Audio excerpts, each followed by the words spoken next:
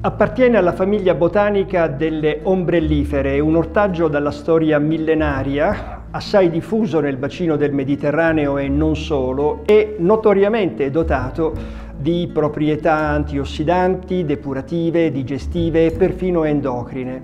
È il finocchio il topic di questa nuova puntata del Gusto della Salute.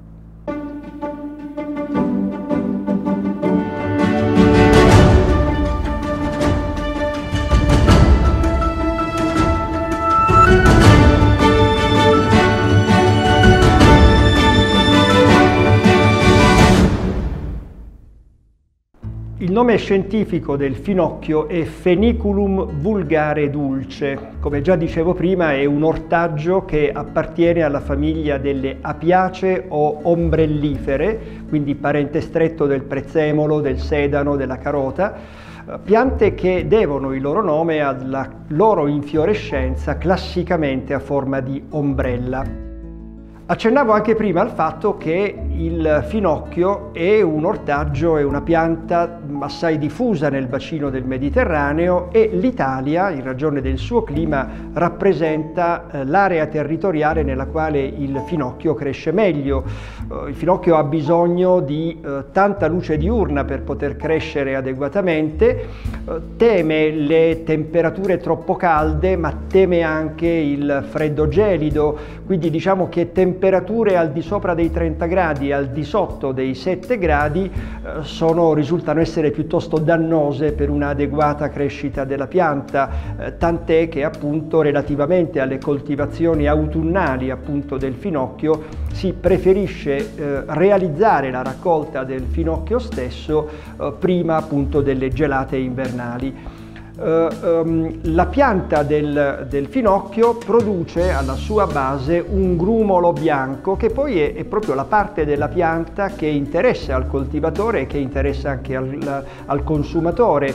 Questo grumolo bianco può avere forma, dimensioni, caratteristiche diverse a seconda delle tecniche colturali che sono state utilizzate, ma anche a seconda della varietà della pianta. C'è chi prima distingueva il finocchio maschio che aveva questo grumolo o che ha questo grumolo più rotonteggiante, più tozzo, più, anche più voluminoso se vogliamo, dal finocchio femmina che invece ha un grumolo o dovrebbe avere un grumolo più affusolato, più sottile, più piatto. In realtà non ci sono differenze sessuali della pianta, ma eh, si tratta esclusivamente di eh, proprietà legate alla varietà specifica della pianta stessa.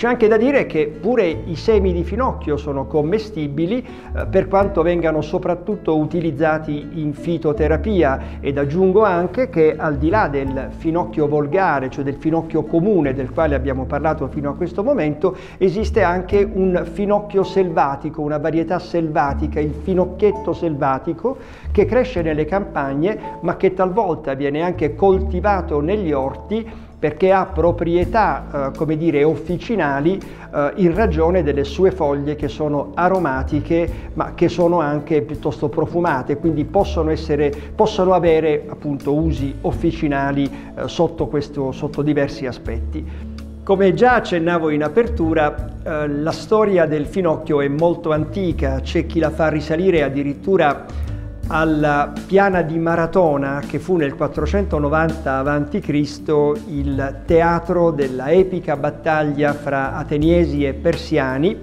eh, piana di Maratona nella quale il finocchio, marathon in lingua greca, cresceva rigoglioso e spontaneo, piana dalla quale poi, lo ricordo, partì eh, la lunga corsa del, del, mitico Filippide che correndo ininterrottamente per oltre 40 km portò poi eh, ad Atene la notizia appunto della vittoria in quella battaglia. Uh, in realtà c'è da dire che già Ippocrate, eh, V-IV secolo a.C., in una sua opera parlava appunto del finocchio, attribuiva in realtà al finocchio proprietà galattogeniche e quindi eh, consigliava alle puerpere di bere il succo di finocchio eh, in quanto capace di stimolare la produzione di latte materno. Stessa visione fu poi condivisa da altri studiosi nei secoli a venire, anche dopo Cristo, per cui cui si cominciò ad attribuire al finocchio anche altre proprietà, per esempio la proprietà di stimolare le, eh, dire, la, la regolarità dei cicli mestruali, oppure ancora grandi proprietà digestive, proprietà diuretiche, eh, proprietà antiacide, proprietà antinausea, eh, c'è chi attribuiva addirittura al, eh, al finocchio la capacità di eh, essere un potente antidoto contro il veleno di serpenti e poi chi gli attribuiva grandissime proprietà per aumentare l'acuità visiva. Quindi eh, molteplici furono le, eh, dire, le, applicazioni in ambito medico del, del finocchio stesso. Uh, c'è anche da dire che eh, nell'antichità i semi di finocchio venivano utilizzati per aromatizzare e quindi quasi per sofisticare in qualche modo eh, vini non più buoni eh, che poi venivano venduti appunto sofisticati e quindi trasformati ad acquirenti magari poco accorti, magari poco esperti, da cui poi l'invito a non farsi infinocchiare che è arrivato appunto fino ai nostri giorni. Quindi, eh, come dire, una storia lunga quella del, del, finocchio con le sue tante proprietà che ci sono state tramandate, altre nuove ne sono state in qualche modo individuate, eh, novità e proprietà che eh, insieme a qualche eventuale controindicazione ora ci verranno ancora meglio dettagliate come sempre dalle nostre biologhe nutrizioniste. Quando si parla di finocchio non si può non fare riferimento all'elevato contenuto in acqua, ma soprattutto all'elevato contenuto in fibra. 100 g di finocchio infatti contengono circa 2,2 g di fibra quindi elevato contenuto in acqua associato a un quantitativo di fibra elevato sono importantissimi per garantire un corretto transito, una corretta funzionalità intestinale. Abbiamo anche un apporto calorico molto basso, 100 g di finocchio forniscono circa 31 calorie. Inoltre le proprietà nutrizionali del finocchio sono soprattutto eh, legate a un elevato apporto di vitamine, soprattutto vitamina A e C, che sono importantissimi antiossidanti, quindi sono in grado di combattere i radicali liberi e quindi rallentare l'invecchiamento cellulare. Ma non solo, abbiamo anche vitamine del gruppo B importantissime per garantire un buon metabolismo e in particolar modo la vitamina B9 che nel finocchio è sotto forma di folati e questa risulta essere importante per garantire un corretto sviluppo del sistema nervoso soprattutto nelle prime fasi di gestazione. Nel finocchio abbiamo anche un importante quantitativo di minerali, zinco, selenio, calcio, eh, fosforo, potassio e sodio. Soprattutto il contenuto di calcio e di fosforo risulta essere molto importante in quanto è in grado da solo di soddisfare il fabbisogno giornaliero. Inoltre il selenio, insieme anche alla vitamina C e insieme anche ai flavonoidi presenti nel finocchio sono importantissimi, svolgono tutti insieme un'importantissima azione antiossidante e proprio per questo motivo il finocchio è un alimento che risulta essere importante nella prevenzione dei tumori e di altre patologie. Per tutte queste ragioni, per tutte queste soprattutto proprietà nutrizionali, il finocchio è un alimento che non dobbiamo far mancare sulla tavola nei periodi invernali e non solo. Inoltre il finocchio presenta proprietà depurative, eh, ha proprietà diuretiche, è importantissimo perché è in grado di ridurre il gas intestinale in determinate condizioni come ad esempio in presenza di eh, meteorismo o di colite. Il finocchio contiene all'interno anche numerosi oli essenziali eh, a cui si attribuisce quel caratteristico odore di anice che avvertiamo quando assaporiamo il finocchio. Soprattutto è molto interessante la questione della tisana al finocchio, spesso viene consigliata in diete dimagranti e è in sovrappeso eh, in quanto soprattutto se, assunto, eh, se assunta questa bevanda prima del pasto risulta essere in grado di eh, ridurre il senso di fame, oltre a essere ovviamente depurativa e diuretica. Quindi sicuramente il finocchio è un alimento che non dobbiamo far mancare nella nostra dispensa sia sotto forma di ortaggio che sotto forma di tisana. Non si conoscono delle grandi controindicazioni per quanto riguarda il finocchio. Eh, diciamo che il finocchio, mh, se dobbiamo appunto affrontare gli effetti negativi che può, può dare, ehm, a causa della sua grande quantità eh, di potassio, eh, dovrebbe essere evitato soprattutto sotto forma cruda, quindi come insalata, eh, dalle, dai soggetti che hanno insufficienza renale, in quanto il rene non faticherebbe diciamo, ad eliminare il, il potassio e il potassio si accumulerebbe all'interno del sangue. Eh, altra caratteristica, tra virgolette, negativa della, del finocchio ehm, deriva principalmente dai suoi semi. Eh, molte volte gli infusi o le tisane vengono utilizzate eh, per calmare gli spasmi addominali, per um, un'azione diciamo, lenitiva sul, sull'intestino. però una, si è visto che i semi eh, contengono una sostanza che può essere anche tossica o comunque cancerogena e che è l'estragolo. Questa sostanza se assunta in grande quantità e quindi eh, se vengono mangiati grande, grandi quantità di eh, semi eh, o comunque vengono assunte molte tisane o molti infusi potrebbe essere appunto dannoso eh, per chi ne fa uso.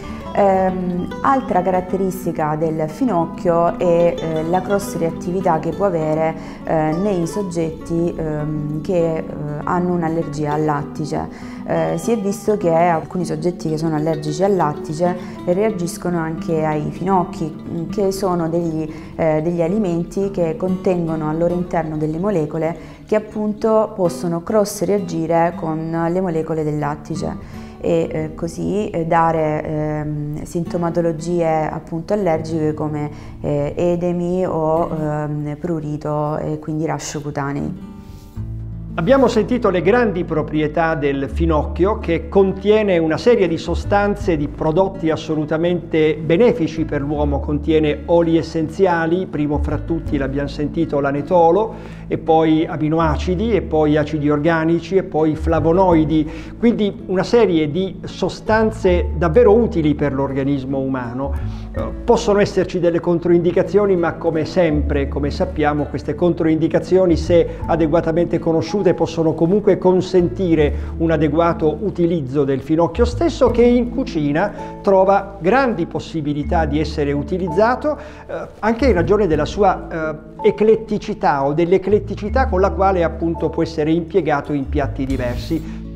E questa volta in cucina abbiamo una novità. Il professor Salvatore Bene dell'Istituto Alberghiero Moccia di Nardò in provincia di Lecce ci dimostrerà le potenzialità culinarie del finocchio.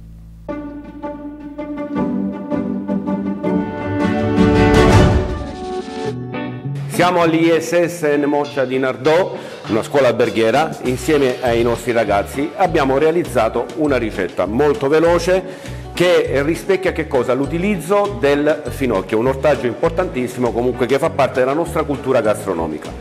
Posso dare via all'esecuzione della ricetta. Qui abbiamo preparato una mirepoix di finocchi allo zafferano e andiamo ad inserire appunto nel nostro piatto principale.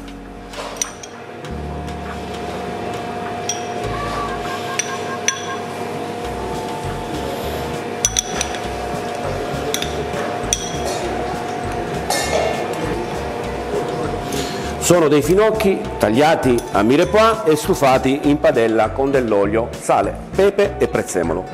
Inserendo queste, questo ingrediente principale nel nostro piatto lo andremo ad assemblare con delle polpette di pesce azzurro, precisamente dello sgombro. Le polpette che abbiamo realizzato per poter completare il nostro piatto sono state realizzate grazie alla collaborazione dei nostri ragazzi facendo cuocere lo sgombro a vapore, spinandolo togliendo la lisca centrale, la pelle, la parte nera, quella più indigesta e abbiamo ottenuto poi un impasto aggiungendo del formaggio grattugiato, del pane grattugiato, del sale, del pepe, del prezzemolo e un uovo. Abbiamo impastato come se fosse un classico comunque impasto per polpette e abbiamo realizzato queste polpettine passate nel pangrattato e fritte in olio di arachidi. Ecco qui. Andremo a finire la nostra preparazione con della tria. Della tria che è della pasta eh, stesa sottilmente e poi viene fritta. Ecco qui.